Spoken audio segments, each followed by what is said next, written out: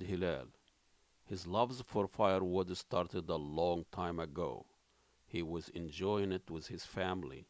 Now, started a new business, Twin Cities Firewood.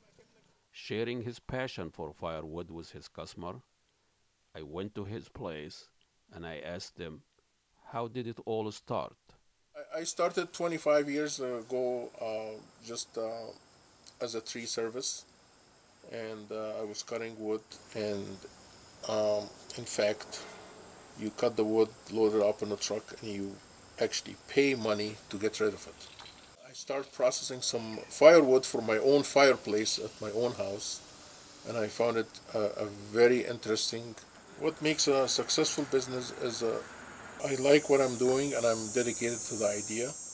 So what I do offer is I deliver seven days a week. The first couple of years I learned that I have to keep the kind of wood separate because people ask for a specific kind of wood. Uh, in the warm weather, like in early fall or spring, they ask for birch because it doesn't produce a lot of heat, but it sparks, the bark sparks. Uh, the customer is looking for clean wood and dry wood. And clean is more important than dry. There's three things that you can check the firewood if it's dry or not. Number one, it would have no bark or peeling bark like this. You have cracks on the side. And number three, uh, any wood would take uh, anything between uh, one to two years to dry to be burnable easily. Summer, you know, the winter in Minnesota is, you know, stay after school in the uh, family room, doing the homework. It gets dark early, so the first thing you need to do is have the fireplace on. Usually get, uh, I, you know, it was frustrating for me when I started the business that every single person asked me, "Is your wood dry?" When was the last time you went to a restaurant and asked them, "Is your food cooked?"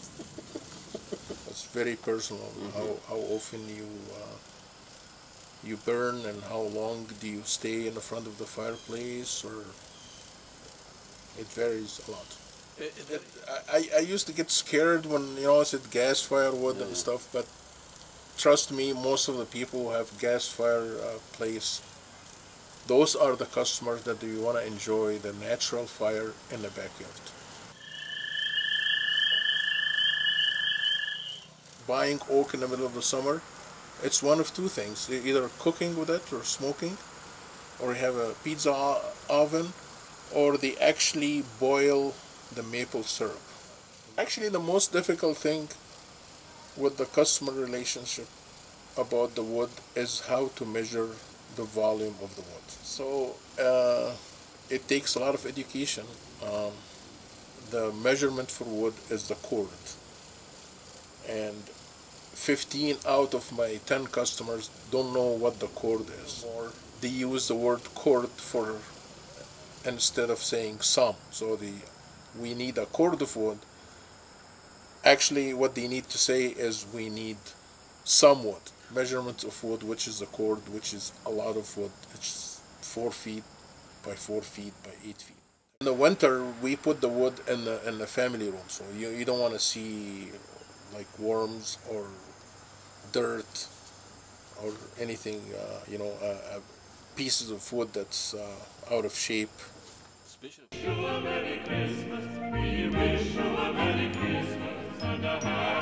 uh, promised uh, dry wood. The wood was dry, was delivered. It's good, good kind oak, usually, and uh, never been disappointed, Mohamed. It's clean, quality firewood that's delivered to your house, uh, touch free. I'll show up to your address. You look at the wood, and if you don't like it, no sweat. Never happened. It is a promise from Mohamed Helal. It is a promise from Twin Cities Firewood. Mohamed Helal, now on the top of the wood.